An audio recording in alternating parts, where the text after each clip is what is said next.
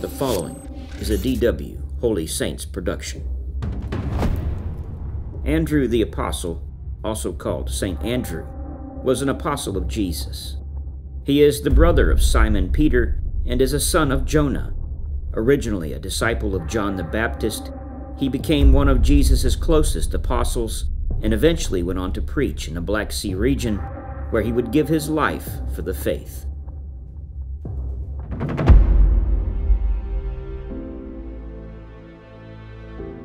It is generally agreed that St. Andrew was crucified by order of the Roman governor Aegeas at Patrae in Achaia, and that he was bound, not nailed, to the cross in order to prolong his sufferings. The cross on which he suffered is commonly held to have been a diagonal cross, supposedly at his own request, as he deemed himself unworthy to be crucified on the same type of cross as Jesus had been.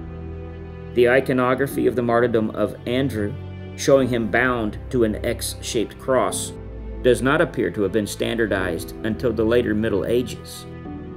His martyrdom took place during the reign of Nero on the 30th of November, 60 AD, and both the Latin and Greek churches keep the 30th of November as his feast day. A local superstition uses the cross of St. Andrew as a hex sign on the fireplaces in northern England and Scotland to prevent witches from flying down the chimney and entering the house to do mischief.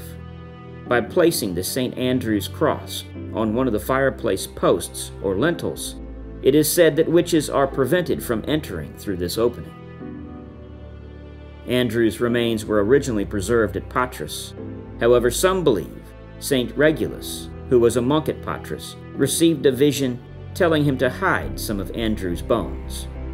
Shortly after Regulus's dream, many of Andrew's relics were transferred to Constantinople by order of Roman Emperor Constantius II around 357. Regulus later received orders in a second dream telling him to take the bones to the ends of the earth.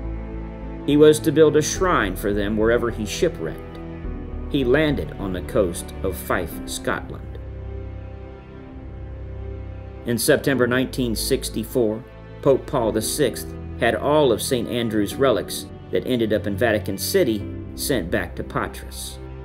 Now, many of Andrew's relics and the cross on which he was martyred are kept in the Church of St. Andrew in Patras. St. Andrew is venerated in Georgia as the first preacher of Christianity in that territory, and in Cyprus for having struck the rocks creating a gush of healing waters upon landing on the shore. His X shaped cross is featured on the flag of Scotland and is represented in much of his iconography. St. Andrew is commonly portrayed as an old man with long white hair and a beard, often holding the Gospel book or a scroll. St. Andrew is the patron saint of fishermen and singers. He is also the patron saint of several countries and cities, including Scotland, Romania, Russia, Ukraine, and Patras. He is considered the founder and the first bishop of the Church of Byzantium and is consequently the patron saint of the Ecumenical Patriarchate of Constantinople. Thus, Benedict XVI calls him the apostle of the Greek world, and since he is the brother of St. Peter, the first bishop of Rome, their brotherhood is symbolically expressed in the special reciprocal relations of the See of Rome and of Constantinople, which are truly sister churches.